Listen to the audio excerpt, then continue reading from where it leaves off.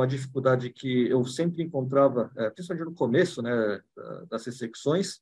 Muitas vezes o, o coloprocto, o cirurgião, se ele vê que as margens estão livres, para ele está curado independente do que está no, no, conteúdo do laudo, se tem invasão de limpar, Então, geralmente são essas coisas que a gente tem mais dificuldade, né? Margem livre não é significativo que está curado, né? Tem que ver as outras características da, da neoplasia. E muitas vezes o patologista não traz essas informações para a gente. Então, a gente tem que ficar insistindo, sempre estar tá conversando com o patologista, até ele ter esses critérios sempre que tiver uma lesão para valer. Então, está sempre discutindo com o patologista para ele ter essas informações que a gente precisa para saber realmente qual conduta tem que ser tomada após uma ressecção de um câncer precoce de um paciente.